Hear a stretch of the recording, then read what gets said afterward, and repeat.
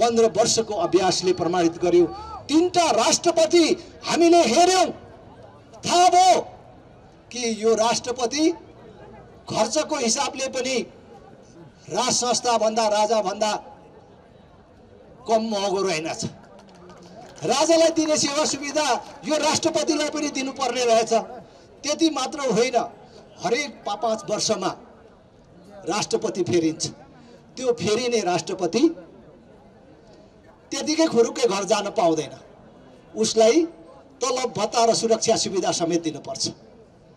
अहिले दुईटा राष्ट्रपति देशले पालिराख्नु परेको छ पूर्व राष्ट्रपति। उपराष्ट्रपति अर्को थप पाल्नु परेकै छ। भने खर्चको हिसाबले राजा महँगो रहेछ कि राष्ट्रपतीय संस्था महँगो रहेछ? र अन्तर्राष्ट्रिय मर्यादाको हिसाबले राज संस्था हुँदाखेरि नेपालको जुन गौरव थियो जुन शान थियो त्यो मैले भनिराख्नु पर्दैन।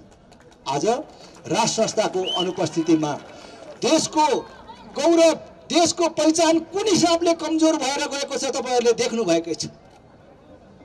राष्ट्रपति न राष्ट्रिय एकताको प्रतीक हुने रहेछ न हामी सबैको अभिभावक हुने रहेछ दलबाट निर्वाचित हुने राष्ट्रपति दलकै कारिन्दा हुने रहेछ भन्ने कुरा घटनाक्रमहरूले प्रमाणित गरेको छ।